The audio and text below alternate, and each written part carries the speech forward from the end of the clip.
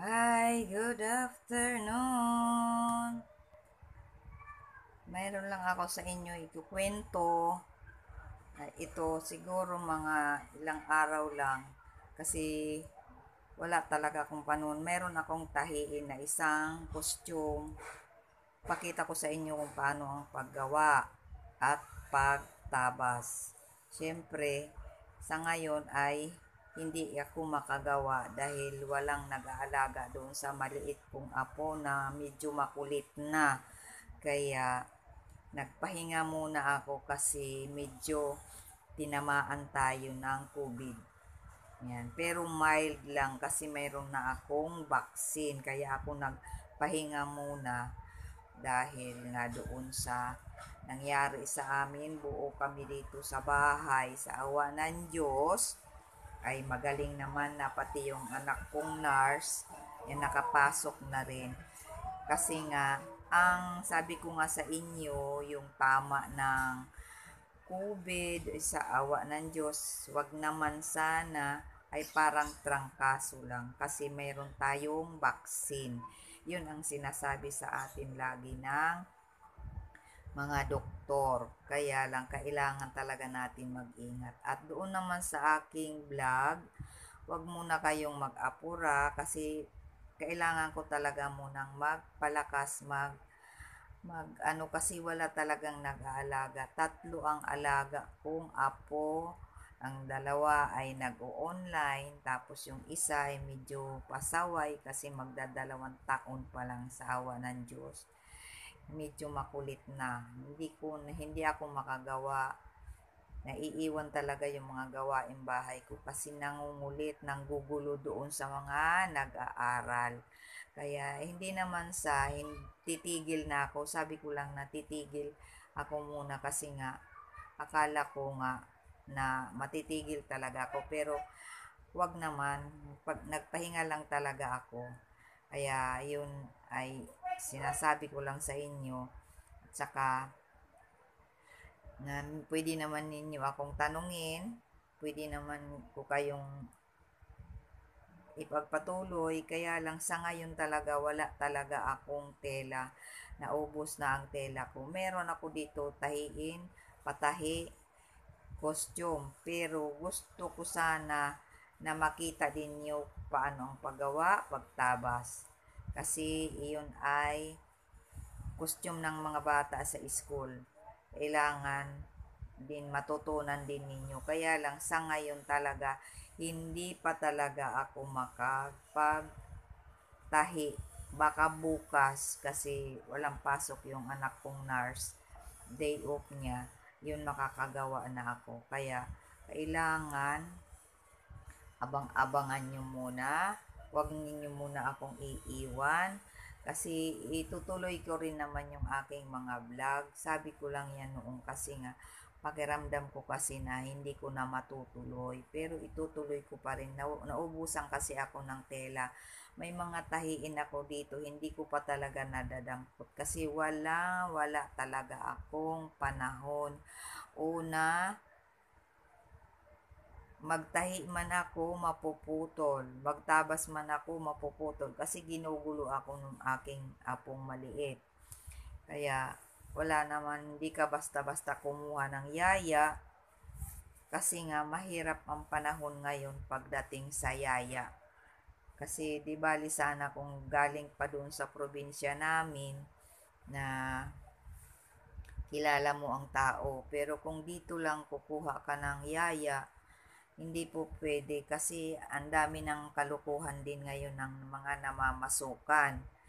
Kaya mahirap, mahirap talaga ang kaya ayaw ko rin kahit na kumuha sila yung anak ko hindi ako talaga pumapayag kasi excuse me hindi ako pumapayag dahil siyempre kasama ko kung makikita ko na hindi maganda ang, hindi sa pihikan ako ha, medyo maano lang ako, makulit lang din ako. Hindi naman ako matapang sa kasama sa bahay, kaya lang gusto ko yung marunong, yung hindi na tinuturuan may kusa.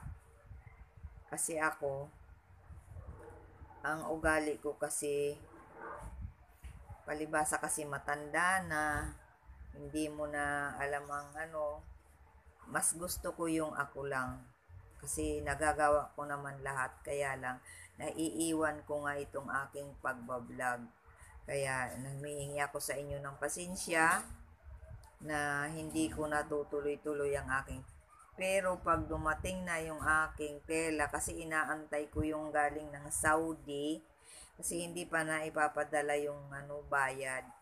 Siguro nagagastos din niya muna doon kasi nga 'di ba nawalan siya ng trabaho ng ilang araw ay ilang buwan. Kaya siguro hindi ginamit niya muna yung aking puhunan nandoon. Kaya hindi ako maka-order.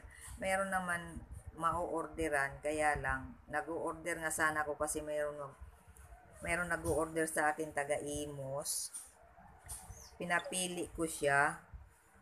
Ay hindi naman nagustuhan. Kaya teka muna ako ay mapuputol na naman pagpasensyahan nyo na kasi nalobat ako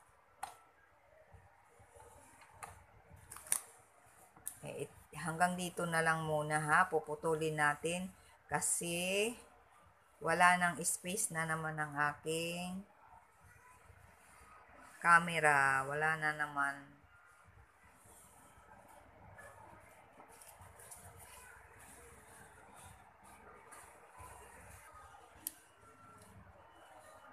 Yan, papatuloy tayo kasi nga, ano, nalobat ako. Ayan. Kaya, abang-abang lang kasi marami pa naman akong gagawin. Marami pa akong ituturo sa inyo. Kanya nga lang, medyo nagpalaylo muna ako dahil alam mo na, tayo ay tumatanda. At saka medyo dinaanan tayo ng masama na ngayon naman ay sa awa ng Diyos bumuti. Kaya, nagpapasalamat pa rin ako kay Lord kay Lord. Ayan, ang aking Lord. Yan siya. Hindi tayo dapat nakakalimot sa Kanya. Kaya pinaaalala ko sa inyo na dapat ay lagi tayong magdasal. Dasal tayo ng hindi mag-aalinlangan sa pagdadasal. Kaya kailangan natin ang awa sa taas. Kaya, sana yung mga pangaral ko sa inyo ay inyo na susubaybayan. Pagpasensyahan nyo na na medyo natigil tayo sa ating mga project. Dahil marami ako pa dito tahiin, kaya lang talagang nagpahinga talaga ako. Kasi nga, hirap ang pupwersahin ko yung aking katawan dahil matanda na tayo. Pero nasasagot ko naman yung mga nagtatanong. Marami pa rin nagtatanong sa akin kaya lang sinasagot ko madaling araw ako nagsasagot. Kasi madaling araw ako gising na. Minsan alauna pa lang gising na ako. Kaya tinitignan ko na agad yung aking ano para masagot ko yung mga nagtatanong.